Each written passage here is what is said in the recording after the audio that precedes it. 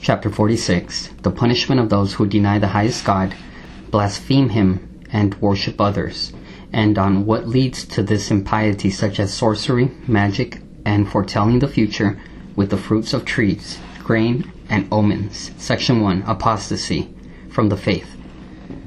Our Lord has said in the Gospel, It is written, The Lord thy God shalt thou adore, and before him only shalt thou prostrate thyself. And he commanded his disciples, saying, Go and teach all nations, baptizing them in the name of the Father, and of the Son, and of the Holy Spirit. In other words, Edamawi Chad Selassie, first power of the Trinity, or the power of the Trinity is one. He also said, Since God is Spirit, and also I and the Father are one, and all that which belongs to the Father is mine. These words show that one must believe in the divine unity and the trinity of the persons, and in the equality of person, in one divine nature, and in his power, and in the greatness of his glory. So I I would just say Tewahido, the Tewahido faith.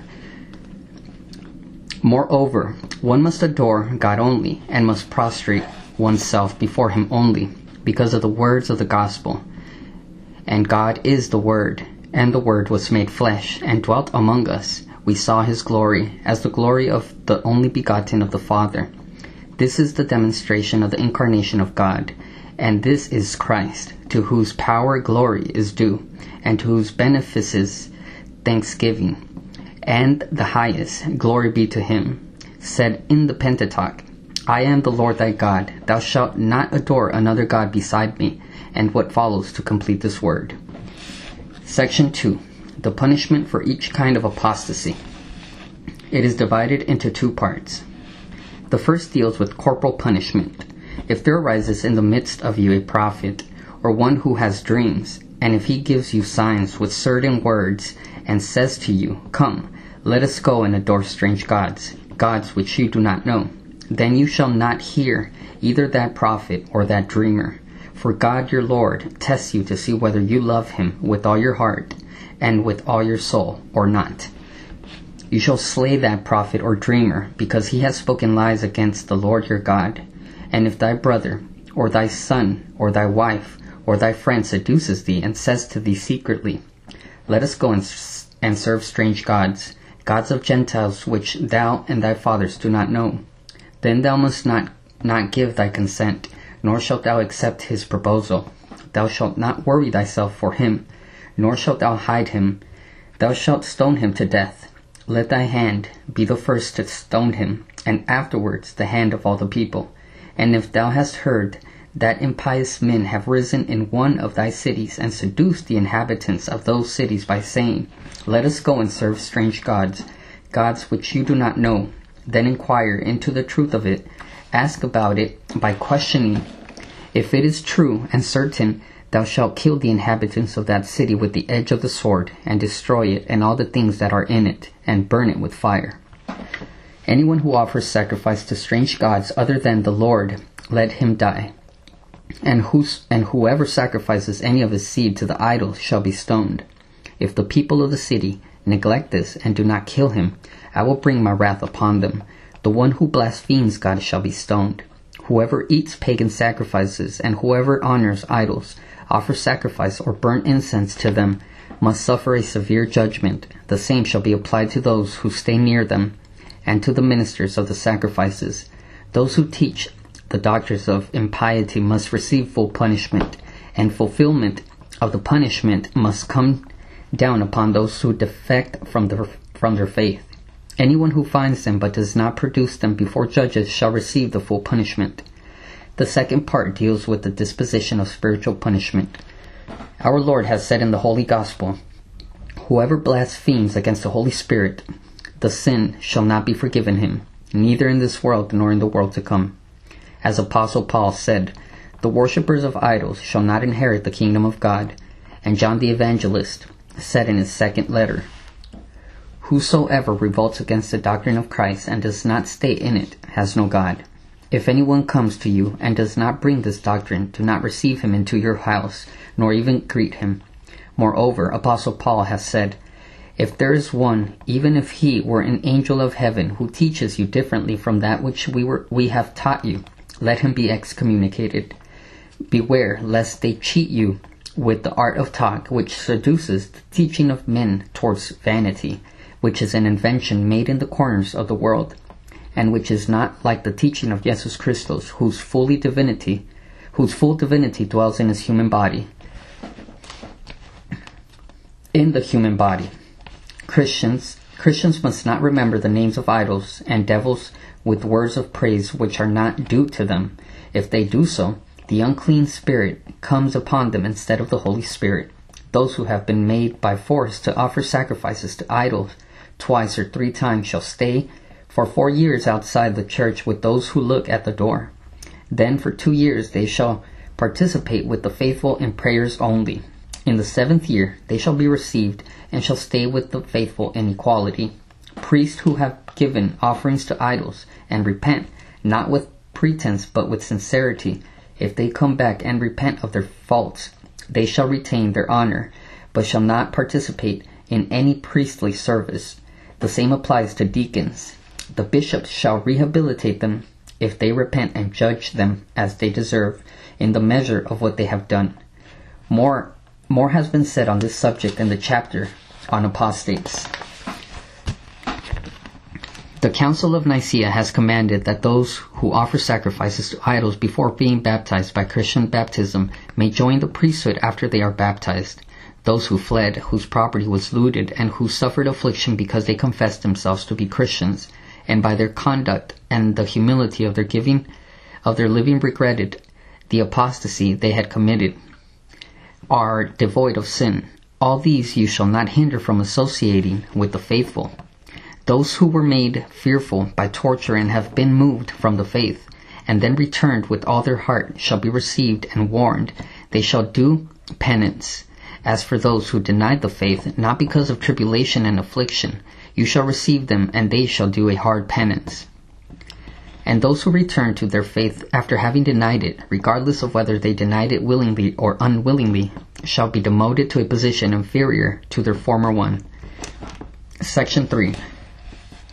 The punishment of one who leads others to worship another, who is not God, to whom be glory, as the highest God, such as sorcerers, magicians, and soothsayers, who foretell the future by watching the ground, the fruit of trees, cherries, palms, shell, or omens.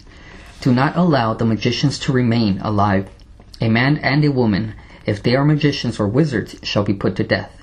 They shall be stoned, since they are impious. Let their blood be upon them. Neither let there be found among you anyone who seeks the teachings of magicians and wise men, nor one who is partial, or a diviner, or a soothsayer, or a user of trances, or one who consults diviners and evokers of the dead for anyone who does these things is unclean before the Lord your God. Magicians and soothsayers, who foretell the future by observing the ground, the fruits of trees, and shells, those who invoke the dead and who interpret dreams, those who make omens, and those who make booklets to be inserted in amulets, must abstain from doing so or be driven away. No Christian shall have relations with magicians or wise men, and one who does this, who communicates with them or consults them, believers believes their words, receives them in his house or goes into their house and partakes of their food and drinks or of their drink. If he is from the clergy, he shall be deposed of his rank and barred from associating with the faithful. If he is a layman, he shall be barred from associating with the faithful. If they repent, they will be given a penance to do. Chapter 47 Homicide and its corporal and spiritual punishment as contained in its canons. Homicide belongs to the category of great sins. It is prohibited by temporal law and entails excommunication in the spiritual law. There, this is so by reason and by law. This punishment is carried out by killing the body and thus separating the soul from the body by means of corporal punishment carried out by the temporal judge, so that the temporal law may be fulfilled. If it is not discovered, its punishment shall be spiritual, by the spiritual judge who is the highest priest, so that the guilty one can find salvation from the punishment he will get in the world without end. Homicide is divided into two parts. The first concerns one who does not deserve punishment. This regards the one who does not have the use of reason, and the one who is not over seven years of age. Also the drunkard, as he is considered as one who lacks the use of reason, shall not be killed. Since the drunkard has lost the use of reason of his own will, whereas in the case of the mad and the feeble minded, their reason perishes without their will, the punishment of the former shall not be like that of the latter. Reason dictates that if one is addicted to drunkenness, or if one is violently mad, his punishment shall not be the same as that of the mad and the feeble minded, the more so if he had killed before in a state of drunkenness, or there was a quarrel between him and the victim. But if it is not known that he is a violently mad, or there was no quarrel between them, he shall be punished the same way drunkards are punished. His punishment shall be similar to that of one who kills involuntarily. Whosoever is forcibly compelled to kill shall not be held responsible, if he who compelled him is the master of his body. If it is another person who gives the order, and he has has power over the person he orders, the punishment is due to the one who gave the order. But if the one who ordered has no authority over him, or the latter did not fear him, the one who carried out the order shall be punished. The second part deals with the person who deserves punishment, as the following explains. It is different from what has been mentioned before. Killing is of two types. The first is the type which entails neither punishment nor condemnation to the death, to death, but only in order to go into exile. This first is further subdivided into two parts. The first of these parts deals with one who does not intend to kill, but who killed another accidentally. accidentally. The second of these parts deals with one who intends to kill, but is spared from being killed in turn. If a thief is caught breaking into a house, and is beaten and dies, there is no punishment for his killer. But if the sun be up, his killer must be put to death. But anyone has the right to kill the thief if he cannot be saved from him without suffering some harm himself. Nor is any guilt attached to the one who kills a man who comes into his home at night to harm him, as it is done in defense of his own life. And the enemies who fight and those who seek refuge with them shall be punished with the sword, and one who caught another who sinned with his wife and kills him shall not be punished as a murderer. One who suspects a man of staining the purity of his wife makes him aware of his suspicion three times and sends someone to speak about it to him in the presence of trusted witnesses. If this man then kills him with his hand because the man is found speaking to her in his or her house or in a tavern or at a goldsmith's despite his warning, he shall not be held responsible. But if he finds him speaking to his wife in another place or in the church, let him deliver him to the person appointed to judge his guilt. If he convicts him before the judge by the testimony of three persons, the sinner deserves the punishment for fornicators. The second part regarding the person who deserves punishment on slaves and relatives. As for the slaves, there are two sentences regarding them. First, if a man beats his servant or his maid with a stick and death ensues, he must pay the penalty he deserves. But if they live for a day or two, he shall go unpunished, since they are his property. Whosoever flogs one of his servants with a whip or a stick, and death ensues because of this, his judgment must not be like that reserved to a murderer. But if one who flogs has flogged him a great deal, or if one has killed him with poison or burned him with fire, he must be punished as a murderer. The second sentence regarding slaves is, Should one servant be guilty of, of fault deserving the punishment of death, his master must bring his servant to the judge so that he may be punished for his crime. If one who has no authority or right dares to kill him, then the punish then the judgment of death falls upon him. Regarding relatives, two sentences are possible. First, a father must not die for his son's guilt, nor a son for his father's. Second, whosoever kills his kinsman in the ascending line, that is, his father, or in the descending line, his son and close relatives, must be delivered for punishment. There is another case which deserves punishment, namely, the case of the one who incites another to kill, and the one who kills. As for the one who incites, a man who incites another to kill must be judged as a murderer, as a murderer is judged The actor who obeys him using secret treachery such as poison, sorcery, or burning with fire must be awarded the punishment of murderers, since the one who blends poisons to kill people and the one who stores or sells them must be punished in this way. If anybody, free man or slave, in any way offers poisoned drink, be it a wife to her husband or a husband to his wife, a maid to, to her mistress, or a servant to his master, and sickness follows from this, he who poisons another with fatal consequences must be punished with the sword. Those who invoke the demons to kill people shall be punished with the sword. But if they do this out of ignorance, they must be expelled and must do penance. As for burning with fire, the related canon has been dealt with. Homicide openly perpetuated is divided into 12 parts. First, about one who intends to kill a man openly and does kill him. Whoever kills a man unjustly shall be killed in turn, and such a judgment must be enforced among you. Whosoever beats a man to death must be killed in turn, and if he is habituated to this and seeks refuge at the altar, tear him away from it and kill him. Whosoever wounds another with iron, or beats him with stone or wood to kill him, if in fact death ensues, the killer must be put to death in turn. But if the kinsmen of the victim have mercy on him, he shall be awarded a well defined penance to be done perpetually, unless owing to his return towards God they forgive him by reducing the penance.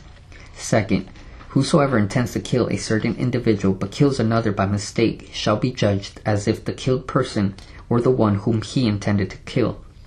And common sense gives the judgment that if the one whom he intended to kill was such that his killer would be punished, the judgment regarding the person killed by mistake shall be similar to the judgment which would have been given regarding the one who escaped, had this latter been killed. If there is any doubt, then he will be adjudged as one who killed unintentionally. This will be dealt with at the end of this chapter. Third, the case of the one who hits another with an instrument which causes death, such as a weapon or a stone, when he wounds him without the intention to kill him, but in fact kills him. Whoso, whoever strikes someone with a sword and kills him shall be killed with the sword. But if he who was struck does not die, the hand of the, of the striker shall be cut off, because he dared to raise his hand to cut with the sword.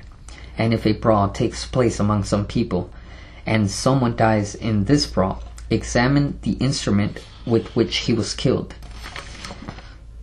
If it is a big stick, a big stone, or something else which entails death, a death sentence must be delivered.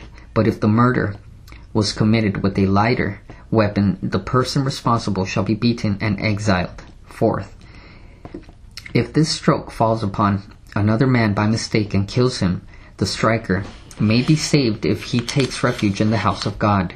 Otherwise, the judge shall adjudge between them and make peace with the people of the victim's blood. This is mentioned in the second part at the end of this chapter, because he did not do this to kill, but merely intended to strike. He was killed by mistake. If peace is not made between them, he must go into exile. Fifth, the case of a person who without any intent to kill beats another with an excessive number of strokes by an instrument not likely to cause death like a small stick or the leather of an ox, and kills him. The word is similar to the judgment regarding slaves mentioned before. Whenever one beats another with a rope or a small stick, and from this death ensues, he shall not be given the judgment due to a murderer. But if he beats him, his victim excessively and without pity, he shall be punished as a murderer. Sixth, if this stroke went past, missing the person it was meant for, and fell upon another person and killed him, the judgment shall be similar to that mentioned in the fourth part. This is definitely less serious and smaller than the two cases and the two strokes mentioned before. Seventh, if a person beats another with a small instrument found from which a death does not usually ensue, taking the necessary precaution, such as beating a healthy young man with his hand or with a small stick repeatedly, repeatedly, but does but not to such a degree that death will follow, and death ensues because of this or some similar reason, or the stroke lands on someone else and kills him, or if someone in a brawl strikes another with his hand and kills him, In each of these cases, the killer shall be beaten and exiled.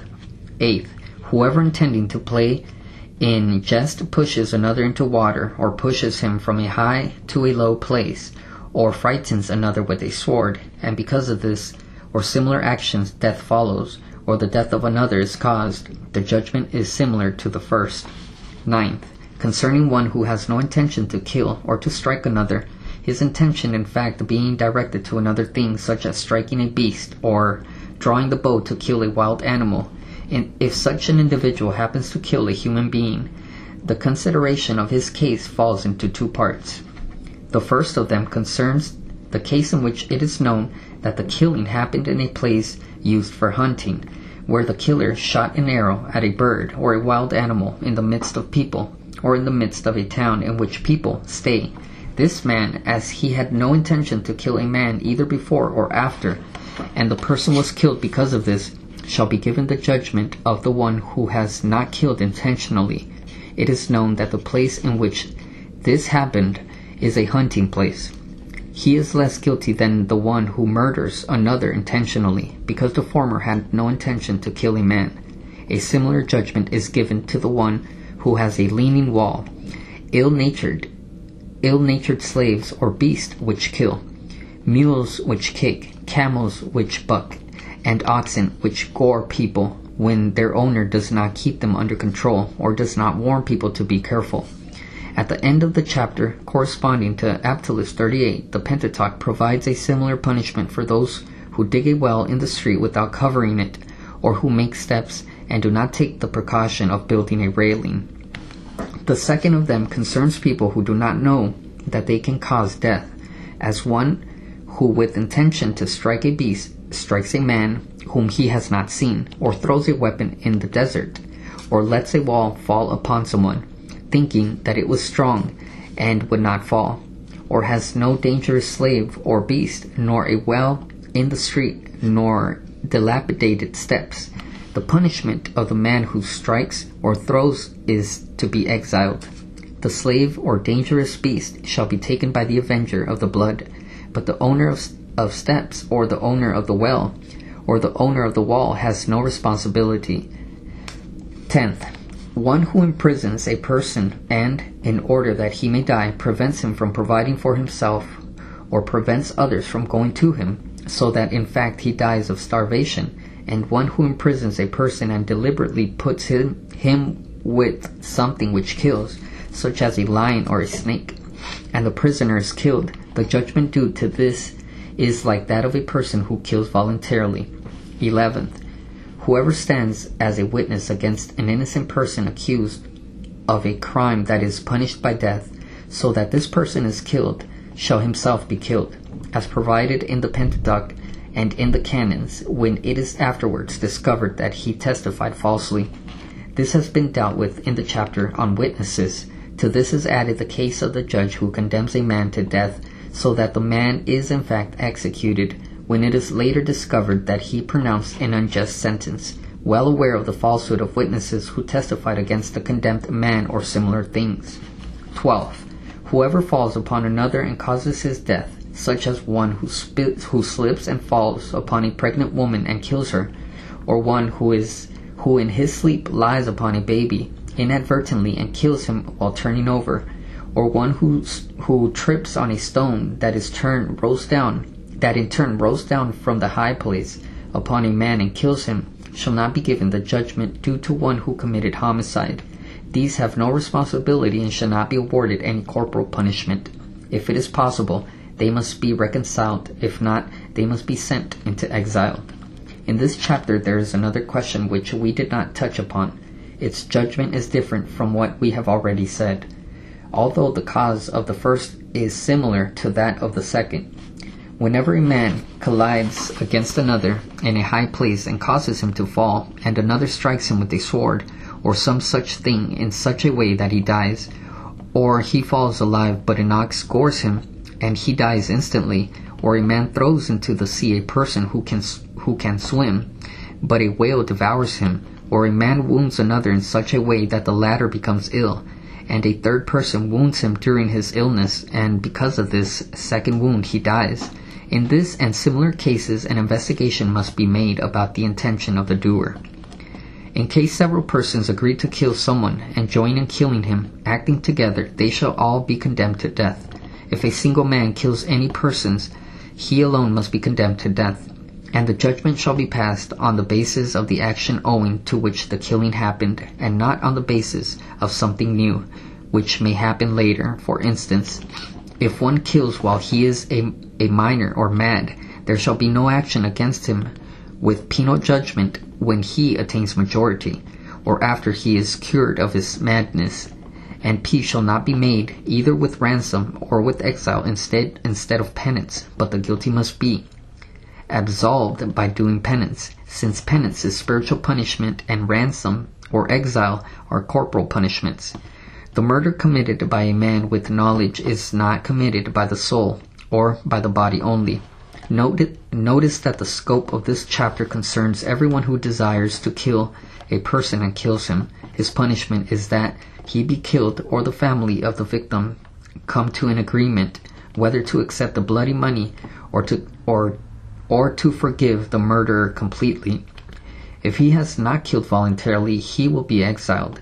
If the striking was accidental, without any enmity, or if out of malice one drew a stone or some other thing which brings about one's death, unaware that he would die, but he dies, without having any feeling or enmity or evil judgment, shall take place between the slayer and he who, came, who claims the blood. Due consideration shall be given to the case, and the slayer must be rescued from the power of the avenger of the blood and sent to a place of refuge and make his home there. In case he had no intention to kill him, but God provided the occasion for the death of the other by his hand, he may take refuge in the place of God. But if the avenger of the blood finds him outside the place of refuge and kills him, he will incur no guilt. One who by his power and with violence takes a person seeking refuge in a holy church, out of that church shall be eaten, shall be beaten, and his hair shall be shaved. He shall be sent into exile and remain there forever in case the slayer could not flee to a place of refuge. The judge, the judges have to judge between the slayer and the avenger of the blood by making peace. They shall save him from them whether the avenger agree or not, because he had no intention to kill him. In case the slayer is proud and lets himself be seen by the kinsmen of the man he killed, boasting of himself against them, and they kill him, they shall not be held guilty there shall be no punishment for his killers, for he should not be seen until the end of their mourning. On what leads to the punishment of death, other than what has already been dealt with, this paragraph is divided into two distinct parts. If two men have a quarrel and strike a pregnant woman, so that the fetus in her womb comes out, if the spirit does not move in the aborted fetus, the one who struck the woman must compensate her husband to the extent laid down by the judge. But if the spirit is in the fetus and it dies, life must pay for life, unless amends are made and they are reconciled. The servants who attempt to take the life of their master must be thrown into the fire. So also the servants who heard the cries of their master while he was being killed, or knew and were certainly aware of what was happening to him, but did not render any help. This is so regardless whether this happened in the city, in the countryside, or in the public road. If a servant schemes against his master's life, he shall be killed, unless his scheme was to the benefit of the king's life. The same is true for manumitted slaves if they commit an offense against the life of their master. Those who consent to harm the life of the king must die and their property must be confiscated. Death in this is the penalty for one who shelters murderers of the faithful, for one who is eager to help their enemies and reveals their works and their secrets, for one who produces means of war, such as ships, for their enemies, and for one who sells weapons and similar things to them. They shall be put to death in the place where they sinned, so that they may serve as a lesson to others who desire to be involved in, in this deed and so that the relatives of the persons murdered through their treachery may be pleased. The end of the chapter on corporal punishment. The avenger of the blood may kill the murderer, but he shall not kill him by his own power before producing him before the judge. And one who killed another must be killed only with the, with the testimony of three witnesses. It is not permitted to execute someone on the testimony of only one witness. Do not accept the bribes for such a judgment. One who avenges the blood may not kill his enemy with his hand. Rather, he must bring him before the judge, so that the latter may condemn the murderer to death.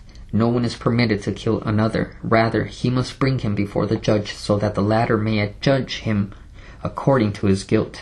The murderer must not think he can give the ransom for the person he killed and settle the matter with that, because it is for the avenger to take the ransom or to demand the condemnation of the murderer. Whosoever falsely accuses his neighbor to make him punished in public and thus delivers the accused to the sword or to fire shall be awarded the same punishment as his neighbor, since he had the full intention to kill. For it is written in the Pentateuch, Whosoever sheds a man's blood, his blood shall be shed in turn. Whosoever accuses another falsely must receive in his turn that punishment for which he had accused the other. When you find a murderer, a murdered man in a deserted place or a field, and no one knows who killed him, then your judges and elders shall go out and measure the distance between the place where the murder man, murdered man was and the city. They shall see which city is nearest to the murdered man, and then the elders of that city shall take an oath and say, Not our, not ours the hand that shed this blood. Our eyes never saw who killed him. And you, O judges, make inquiries about this blood and judge the matter with righteousness section on spiritual punishment. Should a priest fight with someone and strike him until he dies, he must be de- deposed because of the cruelty of his heart. If he is a layman, he must be sent into exile. He who murders intentionally must do penance until the end of his life. It is known that he fully enters the community of the faithful at the end of his life by means of the Eucharist. To him who kills unintentionally, the first provision is that he do penance until the end of seven years, staying in a lower degree. Then he must do penance for three years more. With respect to one who killed a woman, the council orders that he be expelled from the community of the faithful for twenty years. He must remain outside the door of the church for three years, weeping and watching his co-faithful enter. For six years he shall stay with the faithful, and for eleven years with the catechumens. But in case he is seen doing hard penance for his crime, do not make the duration of his penance heavy upon him. For him who kills unintentionally, the time of penance shall be half of this time only. If a man makes a woman abort with poison and lies with her, he must remain outside the church for the rest of his life. Only at the end of his life, or in danger, may he be deemed worthy of receiving the mysteries, because he has committed the three gravest sins fornication, homicide, and sorcery.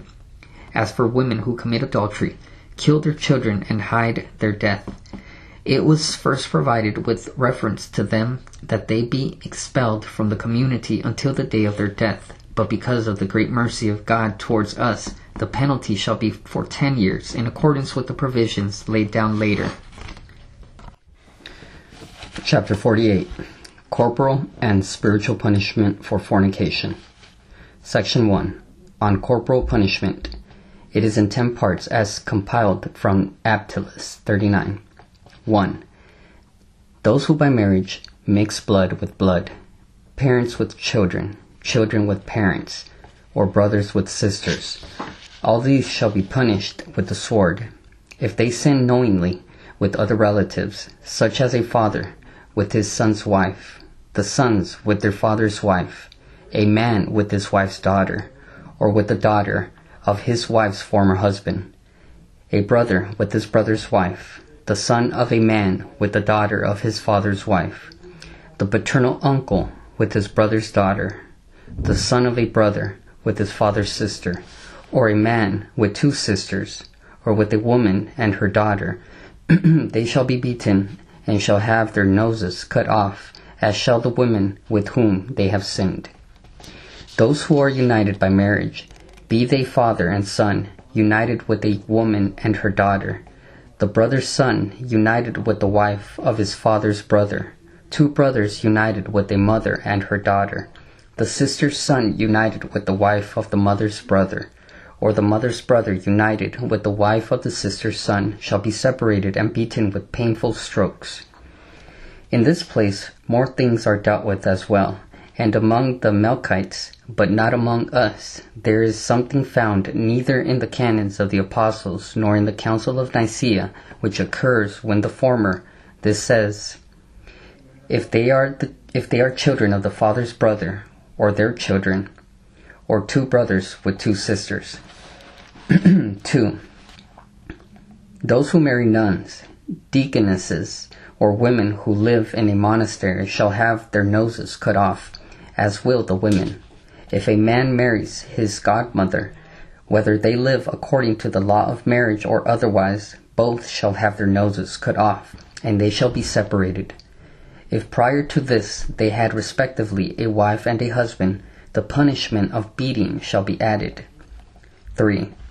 The one who carries a virgin off by force shall have his nose cut off. A third part of his property shall be given to her. One who, who carries off a girl before she attains thirteen years of age shall have his nose cut off. Half of his belongings shall be given to her. If a man carries off the betrothed of another with her consent, both he and she shall have their noses cut off. But if he compelled her, a third part of his property shall be given to her after he is awarded this punishment. 4. Those who kidnap a betrothed girl, a girl not yet betrothed, a widow, be she one who is of noble birth, or a woman slave, or a manumitted woman, especially if she is one of those who by their behavior hold themselves apart from God's sake, shall be punished with the sword if they did this with violence. Those who were their accomplices in any way or helped them shall be beaten. They shall have their heads shaved and their noses cut off, and then they shall be exiled. If they did not do this with violence, only the hand of the kidnapper shall be cut off, and those who helped him shall be beaten, shall have their heads shaved, and then shall be exiled. If a slave dares carry off his mistress, and if another helps him in this, they shall be burnt at the stake together. If the slave is aware of a scheme to kidnap his mistress and does not help her in this, he shall be consumed by fire. 5.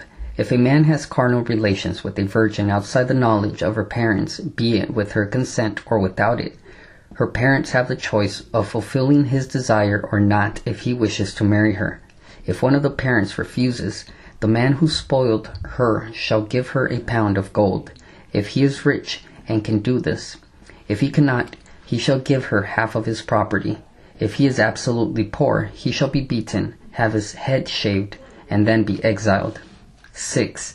On a woman who fornicates with a male slave, or man who fornicates with a female slave. If a woman who has a husband commits adultery with her slave, she shall be beaten. She shall have her head shaved and her nose cut off, and then shall be expelled from the city in which she dwells, and shall lose every honor. As for the slave who sinned with her, his punishment is the sword. In case a woman who has no husband commits fornication with her slave, if she has no children, she shall be beaten, and shall have her head shaved. The slave shall be beaten shall have his head shaved, and then shall be given and sold to the governor. If the woman has children, all her property shall be given to her children, but it shall be entrusted to the king for safekeeping. Only the work shall be in her hand. The price of the slave shall also go to her children. Whosoever has a wife and lies down with his female slave shall do penance with beatings when his deed is discovered. The governor of the country shall take this female slave and sell her to another country. He shall put the price she fetches in his treasury. The one who sins with a female slave who does not belong to him shall give to her master thirty six dinars of gold, if he is rich. If he is from among those who are relatives, he shall be beaten and shall pay whatever he can of thirty six dinars. 7. On fornication in general. Fornicators shall be beaten, they shall have their heads shaved and their noses cut off. The intermediary and those who served as messengers in this deed shall be beaten. They shall have their heads shaved and shall be commanded to go into exile. They shall stay in exile for a long time. A man who has a wife and fornicates shall be beaten twelve times with a rod. The one who has no wife, if he dares to commit a similar sin, shall be punished with seven lashes. There can be no accusation for the sin of fornication after five years. This refers to those who sinned and are in perfect obedience after they committed their sin. No judgment shall be passed against them. That is to say, when there has been a perfect obedience for five years, the debt is forgiven. Whosoever dares to have two wives by his own will against the law is impure. The judge in this case shall pronounce as a sentence against him the punishment due to fornicators. If the second wife is unaware of the condition of the first, who is with him lawfully, she shall be forgiven. If a woman conceives and gives, gives her consent to aborting what is in her womb, she shall be beaten and exiled. The punishment of the married man who sins with a married woman is doubly severe, because by his evil deed he offends God and another. By another is meant his own spouse and the spouse of the woman accomplice. A person who is not married and sins with one who is not married offends God only. 8. Those who commit the sins of Gomorrah, the one who commits them, and the one of whom they are committed, shall be punished with the sword. But if the one on whom they are committed is a child under twelve years of age, the small number of his years exonerates him from punishment. 9. Those who lie down with a beast shall be castrated. 10. The one who knows of his wife's adultery and keeps silent shall be exiled after being beaten. The adulterer and the adulteress shall have their noses cut off. Section 2. On the spiritual punishment for fornication. It is in six parts. First, 1. On the clergy. If a bishop is guilty of any fornication, he shall be deposed from his rank, nor shall he ever return to it. If he does penance, he shall not be prevented from associating with the faithful or from receiving the Eucharist. Since his sin is not similar to that of the layman, he shall never return to his rank. If an, un- if an unmarried priest falls and commits fornication, but is not accustomed to it and had a good reputation from the beginning, his penance shall be to fast and pray for one full year in addition, he shall give alms from his own property according to his ability, and shall be deprived of the rank of his office until the end of his year of penance. Afterwards he may resume his office and the saying of Mass, as it was before. In all his days he shall be vigilant about himself, and if after the penance he returns again to doing similar things, he shall be deposed from his priesthood. However, he shall not be prevented from associating with the faithful or from receiving the Eucharist. But if he is married, and his wife was with him in his house, he shall be condemned to do penance similar to the two and double that of the preceding case. A deacon who is not married shall be treated like a priest on his first offense. For any subsequent offense, his penance is to fast one year. If he errs a third time, he shall be barred from his clerical office if his wife was in his house, he shall be left in penance after bearing, being barred from altar service for three years. After the completion of three years, he shall be restored to his former position. If after this he returns to sin, he shall be dismissed from his clerical office forever. In particular, a bishop shall definitely be barred from his rank after his first sin. There is no penance for his rehabilitation, but he shall not be forbidden to associate with the faithful and to receive the Eucharist. A priest who has no wife may, may return to his priesthood after having done penance, but one who is married may not return. The deacon who has no wife may do penance twice, but the one who has a wife may do penance only once. They, however, shall not be prevented from receiving the Eucharist and from associating with the faithful. They shall be forbidden only from serving at the altar. The chief of the monastery and the judge shall sentence the rest of the clergy, the monks and laymen, to do penance according to the gravity of their sin. If if they commit a sin similar to this, but they shall not make the burden of penance too heavy, lest sinners be lost and abandoned by God. Repentant sinners shall be shall not be neglected, lest they return to their vomit and their sin lest their loss thus be doubled. He who rejects this precept shall be excommunicated by the council. 2. On other members of the faithful. If there is a member of the faithful who follows an unbelieving woman, or a faithful woman who follows an unbeliever because of fornication, in such a way that the one causes the other to abandon the faith, their penance shall be to stay at the door of the church for three years, wearing sackcloth and lying down in the dust. Then they may enter the church alone, separated from the other faithful, for one year. The people of the church shall not communicate with them, either greeting, greetings or the Eucharist. After the completion of this year, the priest shall bless the water and the oil with a benediction other than that used in baptism, without the chrism, but using the benediction with which water and oil for the sick are blessed. Then the priest shall take some of that water and sprinkle it upon them. While they confess and abandon their sin, the sin shall be forgiven them with prayer. Thereafter they may receive the Eucharist and whoever transgresses this command shall be excommunicated by the council. If there is a layman who carries off a virgin not betrothed to him, and uses violence with her, he shall be separated, and shall not marry another. He shall marry her just as her beloved, just as he loved her, even if she is ugly or poor. The one who commits adultery with a woman who has a husband shall do penance until the end, which is seven years, as we said before.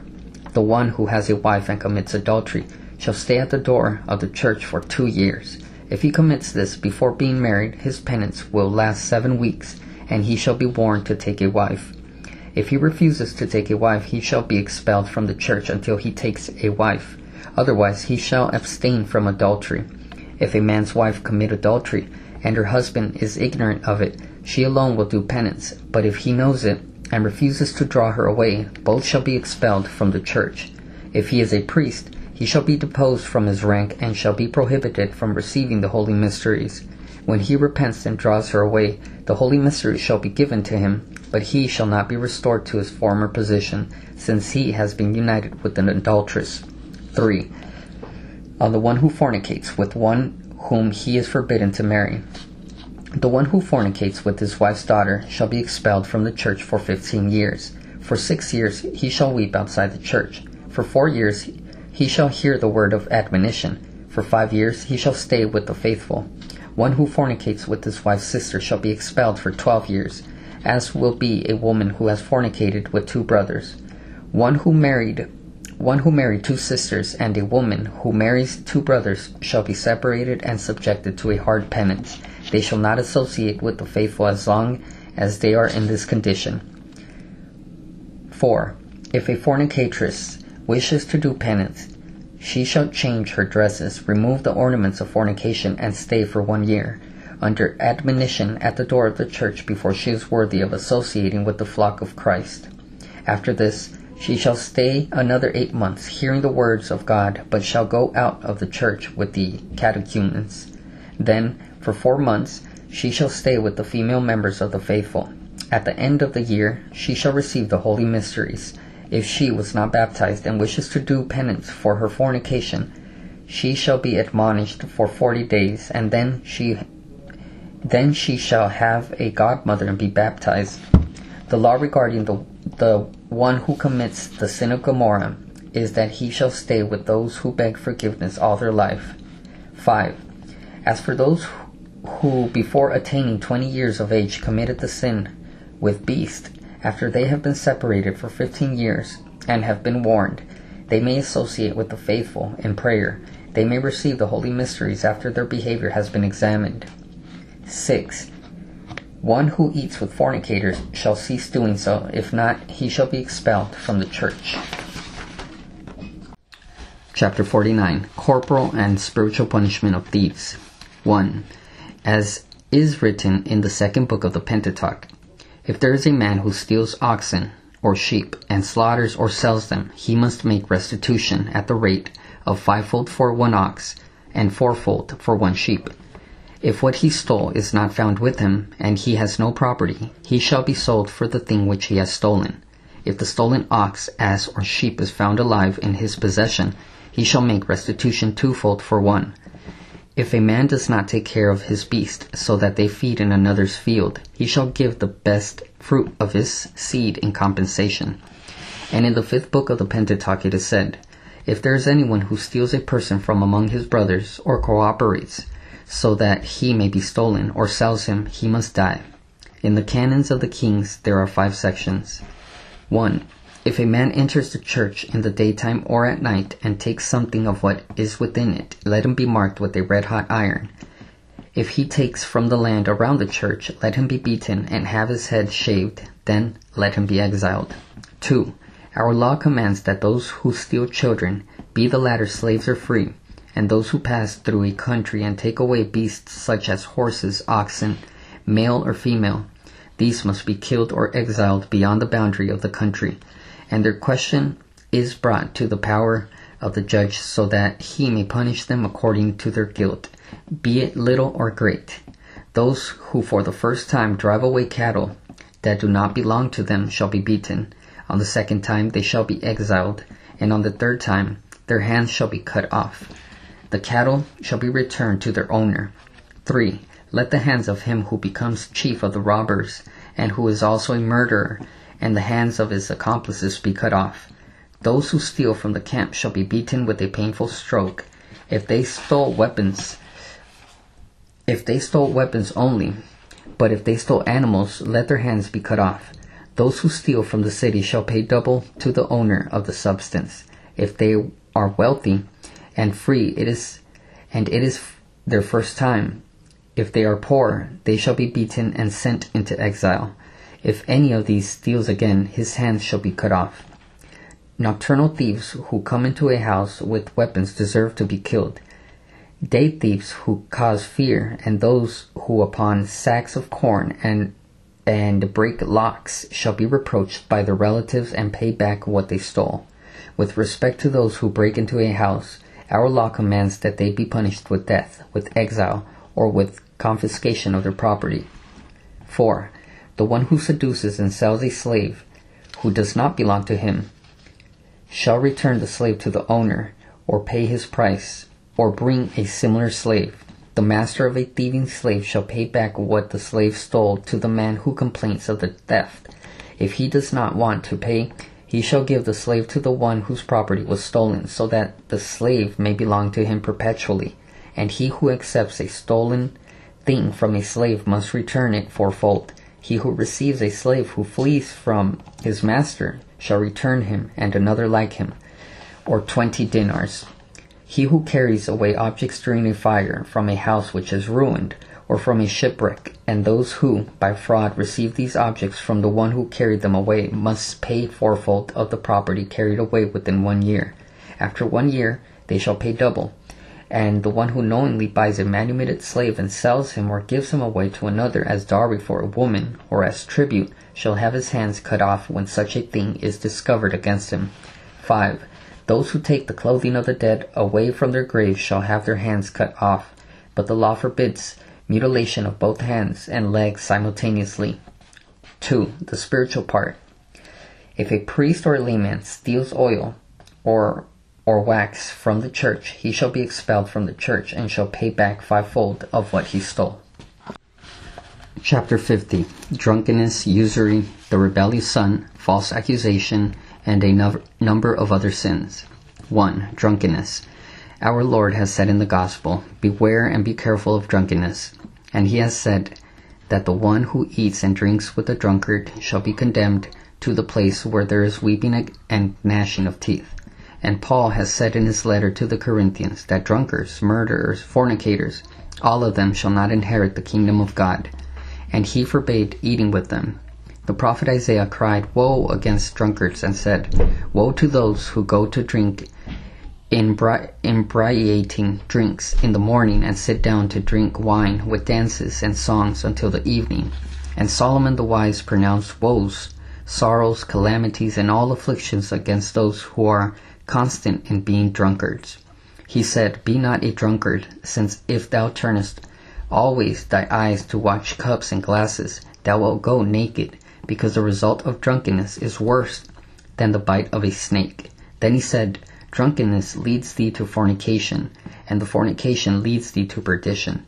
And in the chapter on priest, it has been mentioned that to drunkards, admonition with spiritual punishment is due. And John Chrysostom called, calls drunkenness voluntary madness. Continuous drunkenness becomes a way to every occasion of sin and of ignoble things. Habitual drunkenness, as mentioned in the books of the sages, brings about tremor, loss of intelligence, dropsy, sudden death, diarrhea, fever, ulceration of entrails, swelling of the brain, inability to speak, falling from high places and falling into deep wells or into excavations. But drinking a little wine for the sake of health was commanded by Paul to Timothy, his disciple, saying, Use a little wine for thy continuous infirmities. And the apostles have said in the canons, The strong and wrathful shall not drink lest they forget wisdom and become unable to judge rightly. But we have said this not to hinder them from drinking wine at all, because we cannot despise what God has created for the joy of men. We have said that they shall not drink much, and shall not be drunkards. And the holy books have not said that people shall not drink wine, but that they shall not drink wine in order to become drunk. We have said this to the priest and all Christians together. 2. Usury. In the first law, God forbade the taking of usury, and in the second, he commanded the giving of a loan without being repaid. In the canons, it is said to abstain from this and to impose penance for this. If there is a priest or a layman who takes any usury, he shall abstain from this or be deposed. At the end, do not sin before God by being too serious to take usury from your brother. If you have crops or gold and do not want to take usury from this, but sell it at a high price, you shall be despised before God. Instead of instead of taking usury, you have taken three or four times more than the usury. There are many who, who hasten to take a great part. They have forgotten the saintly word which says, He has not lent his gold with usury to those who take usury. The Great Council has said that if anyone takes usury, does similar things, lends his crops with usury, or uses it in any manner to derive a shameful profit, such a person is found shall be disposed, deposed if he from among the clergy, and shall be segregated if he is a layman. 3. The rebellious son. The rebellious son shall be drawn away from the midst of the community and disinherited by his parents, since God commanded in the ancient law that he shall be stoned to death. But the Christian law has mercy on him and has commanded this limited punishment. If there is a rebellious son who causes damage to his parents, they are permitted to send him away and his being sent away from his parents, and his disinheritance shall be announced before the magistrate and the community. 4. False accusation. He who accuses another of any wicked action shall give a guarantor that he will confirm his accusation as true by producing witness and truthful men against that man. If he cannot, he shall pay an amount equal to what the accused man would have paid him if the thing had been proved against the accused. This shall be his punishment. If the judge, if you judge without partiality, you will know the lie of the one who accuses his neighbor falsely, since he will fall into contradiction in the word of his mouth. This must be judged publicly. They must do to him what he wanted done to his neighbor. You shall not let a person who lies against his neighbor go unpunished, lest he dare say trifling things so that he may walk in the right way, and lest another dare to do what he did. The brother must not reveal a great sin of his brother. In case he reveals it, no one shall listen to him, and he shall remain in exile. 5. Witchcraft. Whoever knows one who engages in witchcraft must bring him to the governor. If someone hides him and does not bring him to the judge, he must suffer a great punishment. Those who put amulets on the elbow and with this wish to gain love shall be beaten and exiled. 6. Arson. One who puts fire to a city or to the countryside with the purpose of causing damage to its inhabitants shall be burned. If it is known that a certain person has burned a dwelling place knowingly and voluntarily, he shall be punished. If someone burns a field entirely, and the fire burns the houses around it, the one to burn first has no fault. If one puts fire to his fields, and it spreads and burns the harvest of his neighbor, they shall examine whether he was as careful as possible, lest the fire spread to other places. If he was not careful, he shall draw the judgment according to the negligent. But if he was careful in everything, and the wind overcame him and spread the fire, the person who lit the fire is not liable. 7. On miscellaneous sins. If the body of a free man is burned, the judge must give judgment against the actor for any medicine or work, but for the disfigurement of the face there is nothing to pay, because the body of a free man is not sus- susceptible to measurement by price.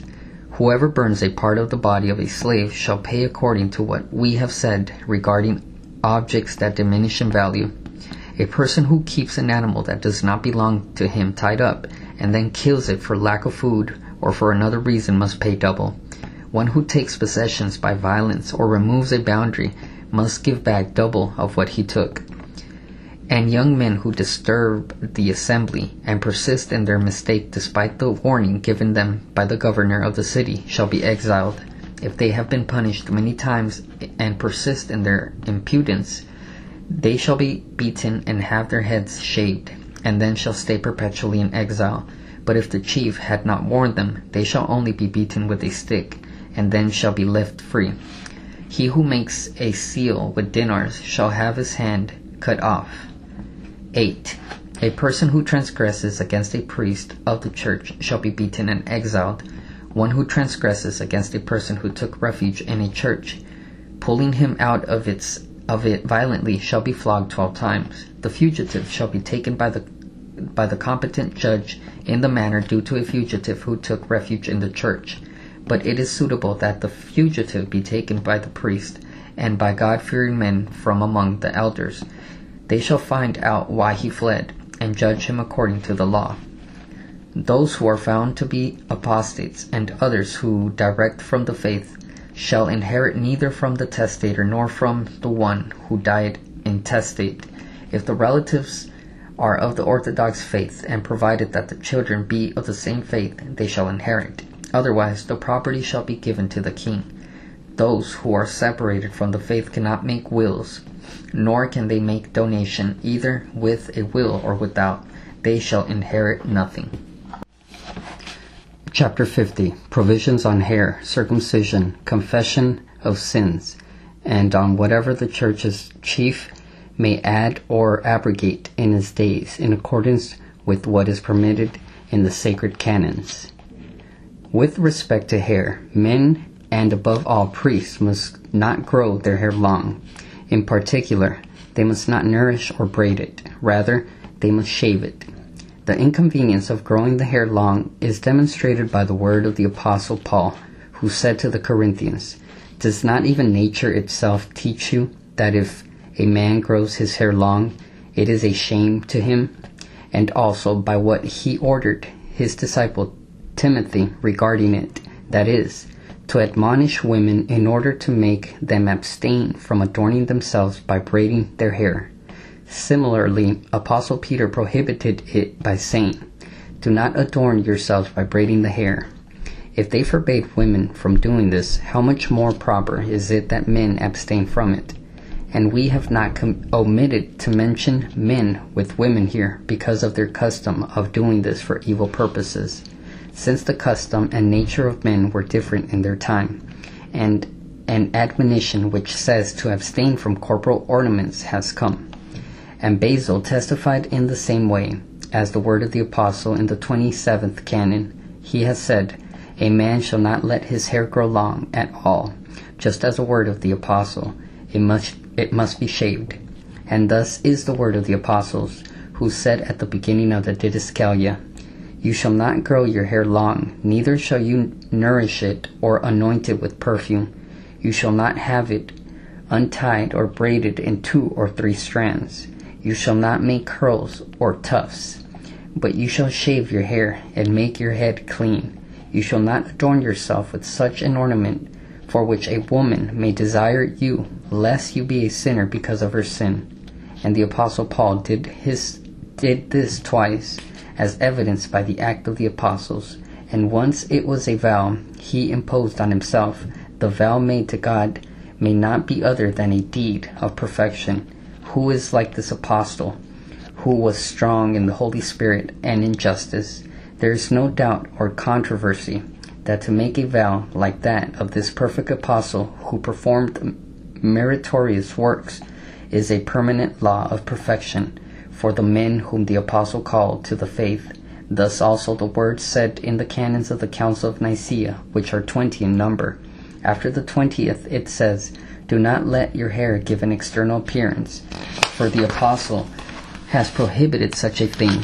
Do not take from the hair of your beard when you shave the hair of your head. Do not make an ornament from the hair of your head on yourself.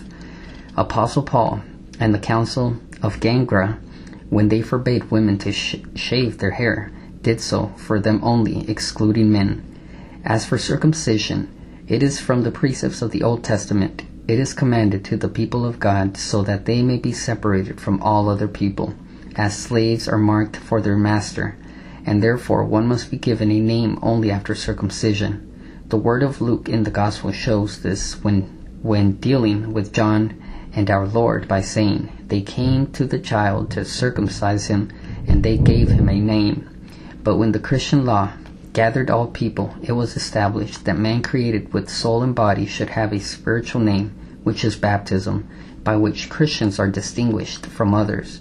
It was established that the conferring of a name takes place at the time of baptism, just as masters find and give a name to their slaves and because of this reason it was necessary for the first woman to go to Adam so that he might give her a name by virtue of his authority and mastery over her. And in this manner the created animals came to Adam so that he might give them their names according to some sign by virtue of his authority and mastery over them. But in the new law, circumcision carried out by the one who circumcises is according to custom and not according to legal precept. Thus it is said in the Pentateuch to do it to do it on the eighth day after the birth of the one who must be circumcised. If done on another day which is not the eighth eighth one, it is not considered as a legal circumcision. The followers of the new law who practice it do not do it on the eighth day, and do not choose this day. Among us, circumcision may be omitted, or may be done without any legal prescription. The words of the Apostle Paul in the seventh chapter of his first letter to the Corinthians show this. He indeed has said circumcision is nothing, and the prepuce is nothing, but justice is observance of the commandments of God. Similar is his saying to the Galatians in the fifth chapter of his letter. To be circumcised avails nothing, nor to be uncircumcised, but faith which is fulfilled with charity. And he has repeated this in the sixth chapter of the same letter, saying, Circumcision and the prepuce are nothing, but the usefulness of deeds is the new creation which is baptism. The external interpretation of his words reveals a prohibition of circumcision because his intent was to prohibit the obligation to observe the law of the Old Testament, the basic precept of which is circumcision and Paul has called the ancient law by its basic precept, as the holy books get their names from their basic contents, such as the book of creation and the book of Numbers. In the same way, the law of the Old Testament is called by the name of circumcision in the place already mentioned, and the other is called the name of prepuce. This is demonstrated by his words in the seventh chapter of his letter to the Corinthians. If a man being circumcised is called to the faith, let him not return to the prepuce. With regard to the obvious sense of this word, if it were intended to mean the circumcision mentioned in the law of circumcision, that is to say, the cutting off the flesh, why should it say, Let him not return to the prepuce, since the one who is circumcised cannot return to be uncircumcised? And he confirms this word in his letter to the Romans by saying, If thou, O man, hast believed and transgressed the Mosaic law, thy circumcision becomes prepuce. And if thou, being uncircumcised, observe the Mosaic law, the prepuce will be circumcision for thee, and the prepuce will, will which the follower of the law cut off in his nature will be a good thing in thee. Indeed, to be circumcised after baptism is not proper. The last word of Paul to the Corinthians about circumcision shows this. He said, let every man of you abide in the condition in which he was called in the faith. Moreover, if being circumcised were at all improper, the Apostle Paul would not have permitted it to Timothy a bishop and his disciple. The book of the Acts of the Apostles bear witness that he circumcised him. If one says that necessity forced him to to circumcise Timothy, our answer will be that the provisions of the law are divided into two groups. The first is the law which must be observed and cannot be put aside in anything or at any time, in whatever the holy books has commanded and has not prohibited. An example of such a commandment is baptism, without which the kingdom of God cannot be attained, or belief in the divine unity and the trinity of the persons. As Apostle Paul said, if an angel of heaven or others teach you differently from that which we have taught you, let him be excommunicated. With regard to the admonition on killing and fornication, Paul said, Those who commit these great sins shall not inherit the kingdom of God. The second type of provision deals with what can be done or omitted, such as uninterrupted prayer and fasting, so also circumcision for which it is testified that it is proper in both ways, as we said earlier, and similar matters regarding customary things. All people have customary practices deemed beautiful among them, while some of these customs are shameful among others, such as the scarring of faces among the Ethiopians and the Nubians, or the shaving of the beard among the Franks, or the priests of Rome who shave the middle of their head if these two classes of people say that their patriarchs commanded them in this, we say to them that the Copts, that the Copts as well, who practice circumcision, have been permitted by their patriarchs to circumcise. And there was one who said that just as the apostle circumcised Timothy out of necessity and utility, similarly Copts do it out of necessity and utility. Out of necessity because they dwell among circumcised people and their young are inclined to evil things, so much so that they have themselves circumcised after baptism. However, they should abstain from circumcision after they have been baptized. And there are other necessities which have been mentioned also in a book other than this one. As for utility, a sage among the philosophers and those who know science in all its aspects has said that with circumcision the organ of concupiscence becomes weak and cool when practiced with agreement, circumcision is advisable in the saintly Christian law. As for as for confession of sin, the confession is a spiritual medicine. It is called spiritual because it establishes a relationship with the Holy Spirit, just as a blood relationship unites with blood relatives. A physical recovery is not attained unless through the hands of a wise and good physician. When there is no such physician, refusal to be treated would be better than being treated by a foolish and wicked physician. Moreover, recovery is attained when the sick person accepts what is done for him as being deemed useful for him by those who prescribe it. It is also attained when, provided that this is possible, the treatment is prescribed in consideration of the time, the place, and its capacity to bear it. Otherwise, there would be no benefit. So also is in the case of spiritual medicine, as uh, and as there is no benefit if one who has good knowledge of medicine is not found, so also the required confession of sin is in two parts. Only seldom are these conditions found everywhere.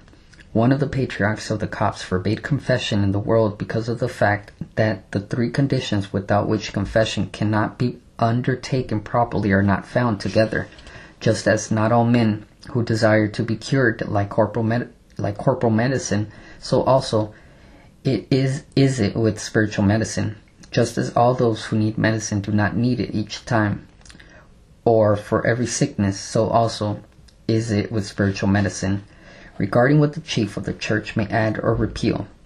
The power given the chief, namely the patriarch, to add new laws or to repeal existing ones, is in the measure that he sees an advantage in his time and know that the scope of law is divided into two parts. One of them concerns faith in the highest God, the other concerns doing what pleases Him.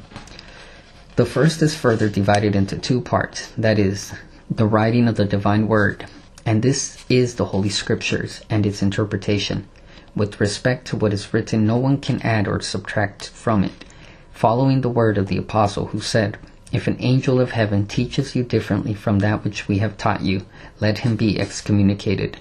Regarding interpretation, no one may give interpretations which conflict, which conflict with that which is written, with matter for which a council was held, or with what was written pursuant to the opinions of a great number of commentators, teachers, and saints. The second part is divided into two as well. The first deals with what is already known in what is written, that is, the word of the divine books and of the accepted counsels such as fasting, prayers, alms, and similar matters. This part is similar to the first one, that is, faith, in that fasting and prayers are done through faith. The second deals with what has not been said openly in the books we have mentioned, neither is it clearly said whether it must be done or not. Nor was a council held concerning it. It deals with matters not mentioned. Only with regard to this has the chief of the church power to loosen and bind. He must act under the following established conditions only. First, he must be of perfect intelligence with both natural and acquired knowledge. Second, he must be pure in his faith by which he guards the law of the faith, which law is laid down on the everlasting foundation of the faith. Third, he must be learned in three roots. First, the words of the divine scriptures and the interpretations of them, which uh, which um, concur with them. Second, matters that necessitated the convention of a council and what the saintly fathers of that council agreed upon, and also what other fathers agreed upon in order that the chief of the church might act in agreement with what the fathers agreed upon. The chiefs of the church must both understand well the topics on which the fathers disagreed and believe in what the fathers agreed upon. Third, knowledge of the analogies which enable one to connect the branches to the trunk's roots, roots which are the foundation of the branches and of which we have spoken, and to the interpretations and the counsels which agreed upon them. The fourth condition for loosening and binding is that the chief must be expert in public affairs and in the various customs regarding things. Fifth, he must excel in spiritual and corporal perfection so that his command will be accepted by the people. Sixth, he must be careful in what he prescribes to his people. That is, what he prescribes must be something which they can bear in his time and of which they are in need. Such is, for example, providing them with useful doctrine, with which they may carefully examine their thoughts and dominate their will, and by which their life can be made excellent and their cult perfect. So also is a doctrine required for their own good and for whatever concerns their behavior. Through their good behavior, their faith will certainly be perfect and their actions righteous in this world and the coming one. Seventh, in binding and loosening, he must seek advice from the learned and pure amongst his priests from the people, from the magistrates, and from those nearest to him who are under his power, asking their advice individually and collectively. And after they have agreed, they shall write a record of the matter which was the reason for their gathering, the reason why their conclusion on the matter is advantageous, and the agreement upon is arrived at by the priest and magistrates. If it is an important matter, it is proper that the bishop and the senior priest, the magistrate, and those who have knowledge and who practice justice meet to consider it. They shall affix their signatures to what is written and shall make from it other copies. These shall be read in the churches before the clergy and before all the people, whether in the cities or in the villages. Regarding the necessities of conforming to the last canon of the Council of Nicaea. The chief of the church shall consult the divine books and ask the soldiers of the church, since he knows that God has commanded all this. And if someone transgresses what, what we said above, he opposes God. And our Lord has said in the gospel, The one who is of God hears the word of God. And he who, is, who has also said, Blessed is the one who hears the word of God and keeps it. And he said to his disciples, The one who hears you hears me, and the one who refuses you refuses me. And the apostle also, at the end of the canons, whose number is 56, have said, We command you, O bishops, this canon. If you will persevere in it, you will be freed and have peace until the end. But if you will not accept and obey what is in it, you will be scorned and will bring grief among you. And after this, you will have the punishment suited to you, to your rebellion. May God one with the Son and the Holy Spirit, creator of all creatures, unite all of you in one single body with this great peace, and prepare for you every good thing, so that you may not return back to evil deeds and so that you may be without stain of, or sin. And may he make you worthy of the dwelling of life until eternity through his beloved Son, Jesus Christus, our God, Creator, our Redeemer. To him, therefore, with him be glory and with the Holy Spirit, world without end. Amen. Appendix Chapter on Succession on which the Honorable Abba Kerylos, Patriarch of Alexandria, agreed with his bishops, his chiefs, and his magistrates. It is in eight sections. The greatest part is an extract from the writing of Abba Cosmas, one of the patriarchs of Alexandria. At the end of his work, he says that his book is compiled from what some jurists have enacted. The rest is arrived at by reasoning and taken from custom. It was enacted on the 17th of Mescharam in the year 958, 958 of the pure martyrs and the year 1241 from the birth of our Lord. May the martyr's intercession be with all Christians, world without end. Amen. Section 1. On the first thing to be done in regard to the estate left in inheritance. First, the cost of wrapping the corpses and the expenses for the grave and the funeral shall be deducted. Then the heir shall pay the debts contracted by the deceased. But, there, but the heir is not obliged to pay these debts if the estate left is not enough to discharge them, and if he does not accept the inheritance.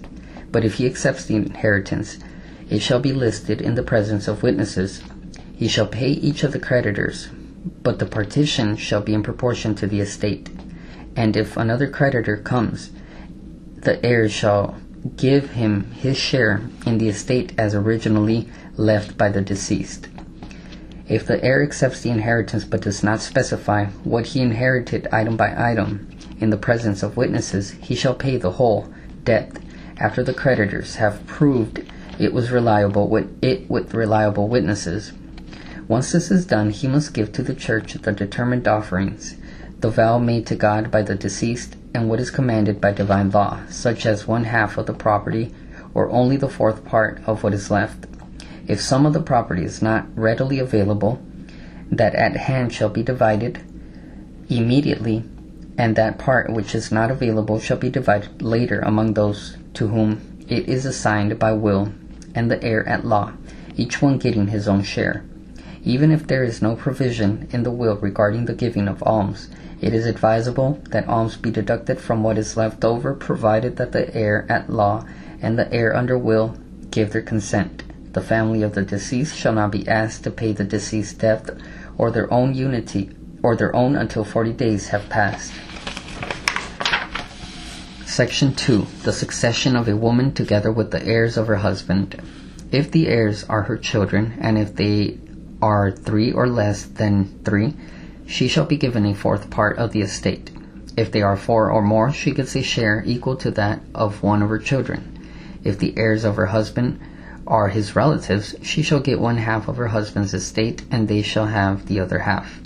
But if he had no heir who is a relative, she will succeed to whatever was left by her husband. This provision regarding her is applicable to her husband as well. In the case of a betrothed couple, if death of the woman occurs, the man or his heirs after him shall take from among the objects of the woman or from her family whatever she or her family took from him, such as dowry and presents, with the exception of what was eaten or drunk of, or some such thing. If the man dies without leaving heirs, whatever she or her family took from him shall be left with her.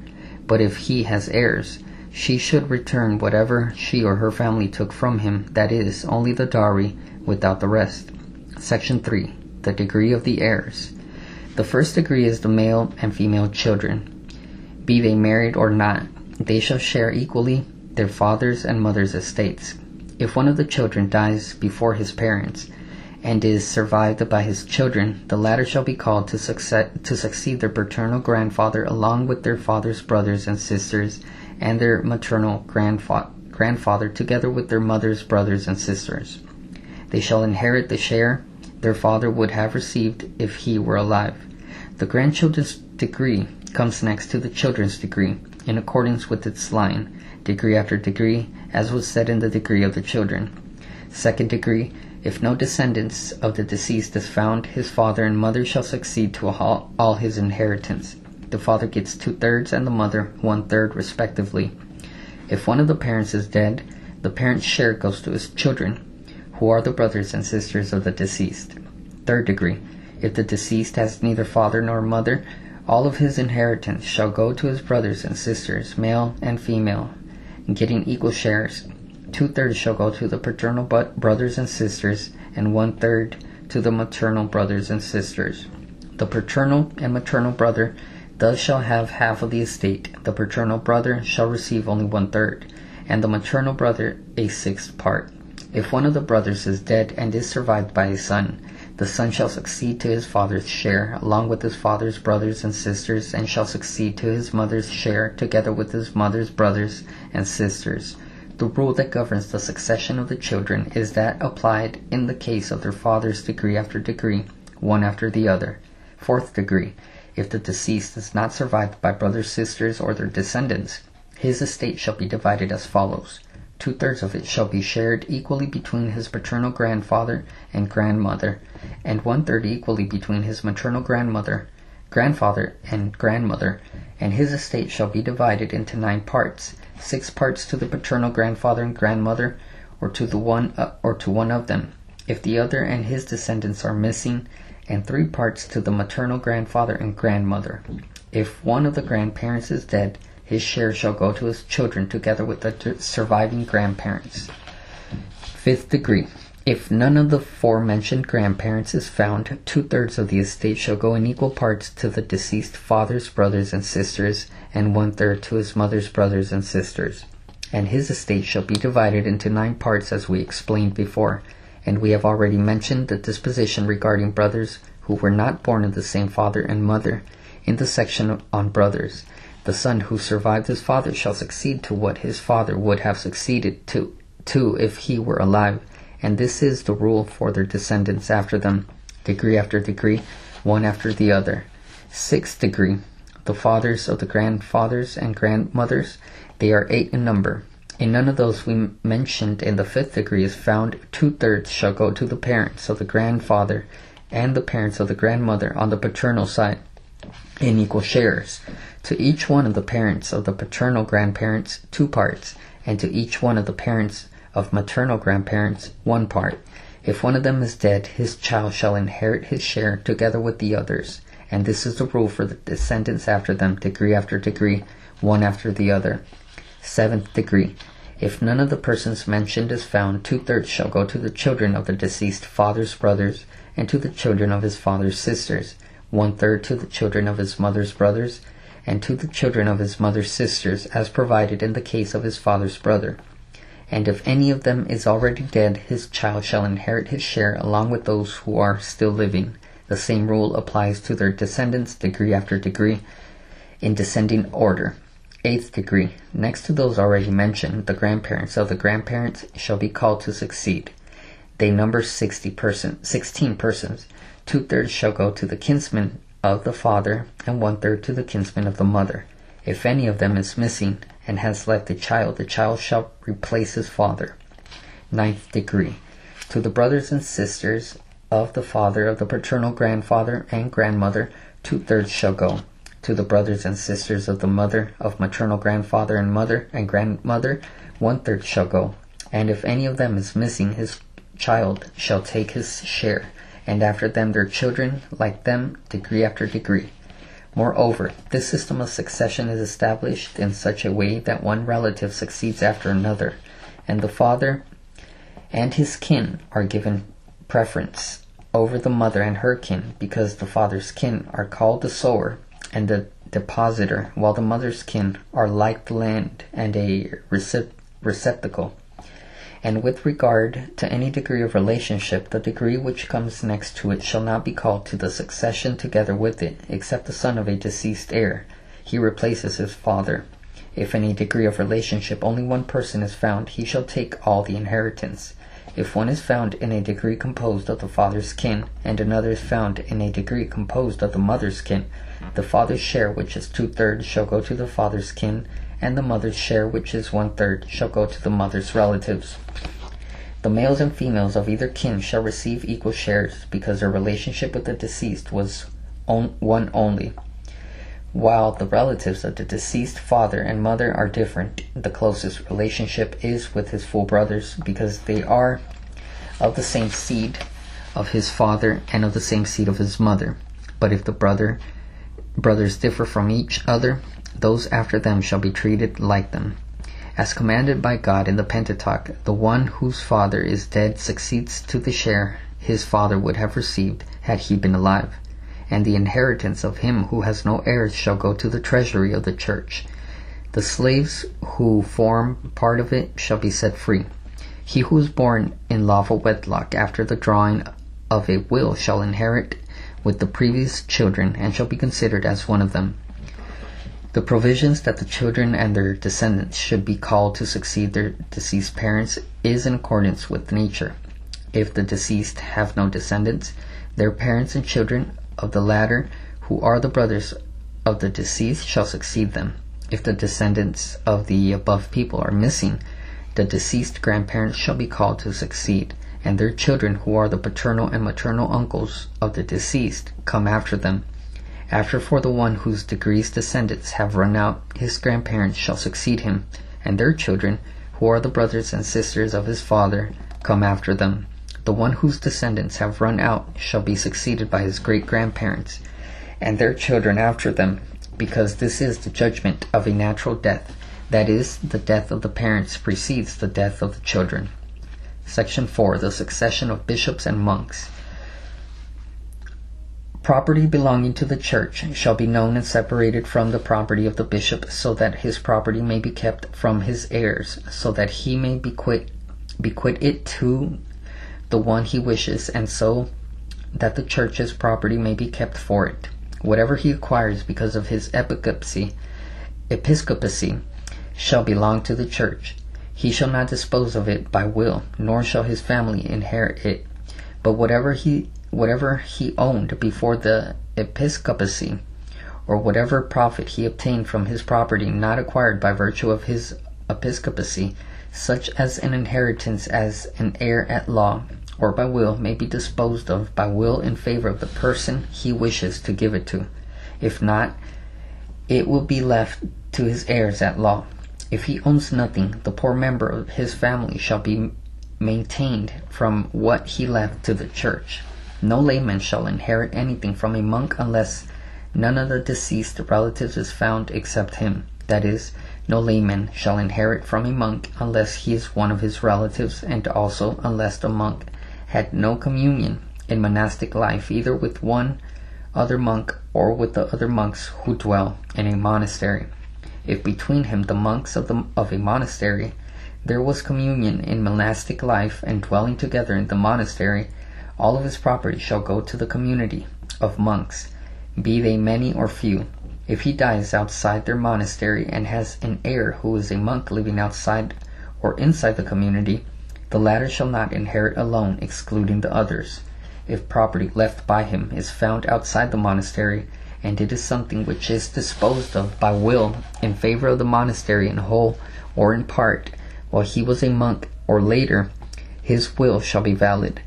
But those things which he has not disposed of by will, and which are found outside the monastery, shall go to the heir at law, if he if he has one be he a monk or layman, otherwise his community shall inherit it.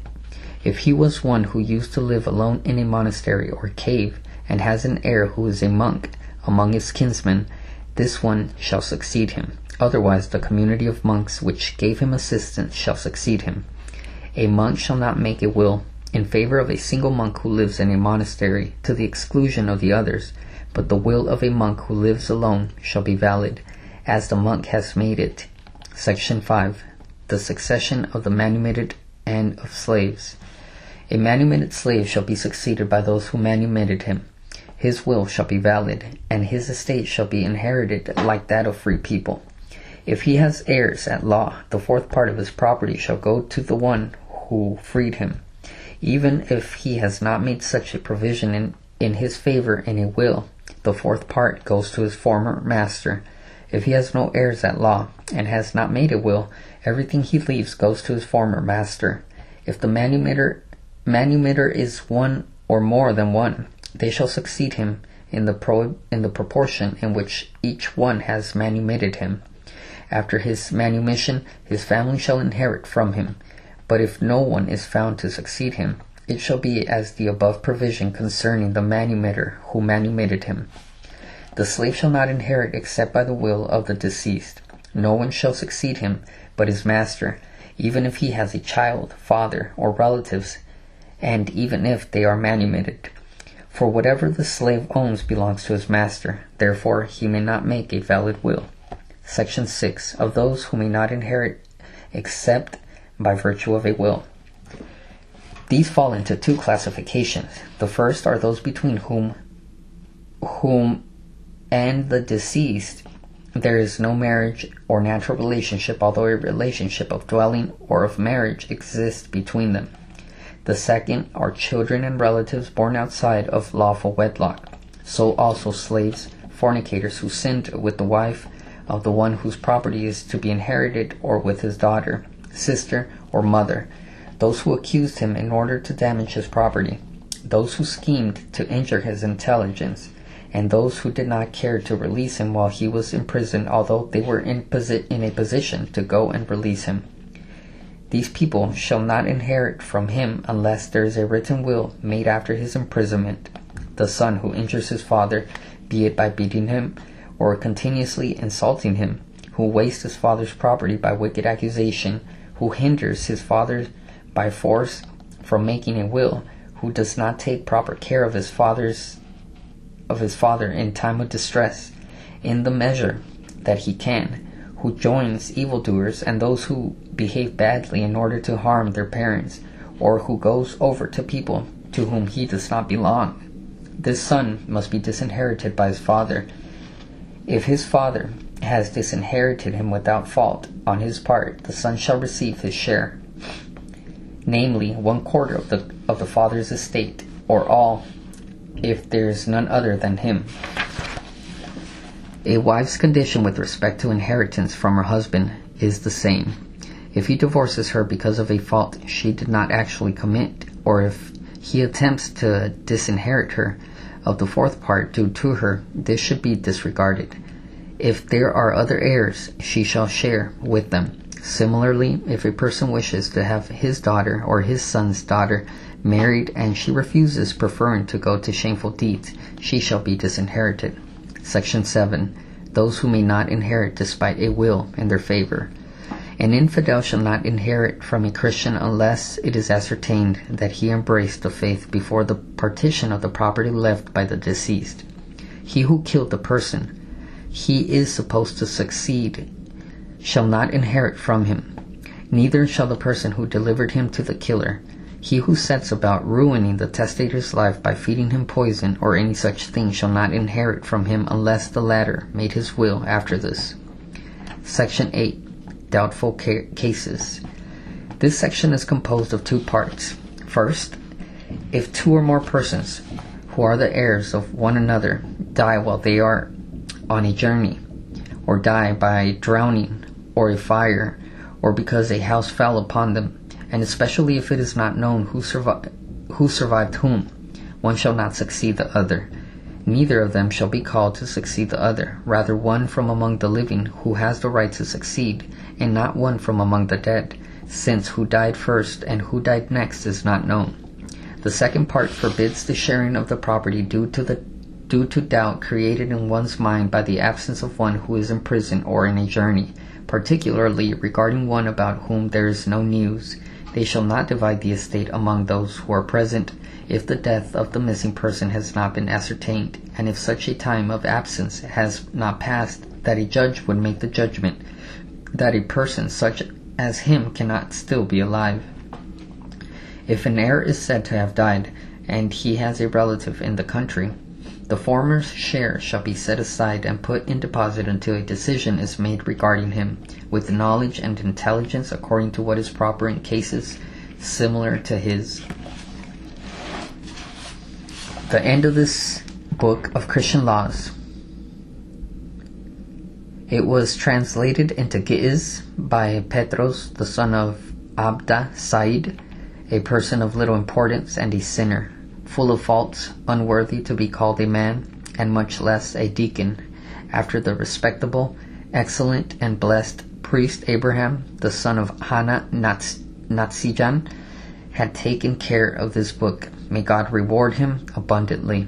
The translator, weak and wicked, and as I am aware that I am inferior in intelligence, request all the readers of this book to correct the errors they come across, and beseech pardon, and beseech pardon for me.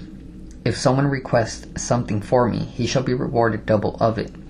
Let us pray to God that He grant us all to hear these words of happiness. Come ye, blessed of my Father, to inherit the kingdom prepared for you from the creation of the world, and that He forgive us our sins and our faults. Glory be to God, world without end, and may His mercy be upon us. Amen. Amen.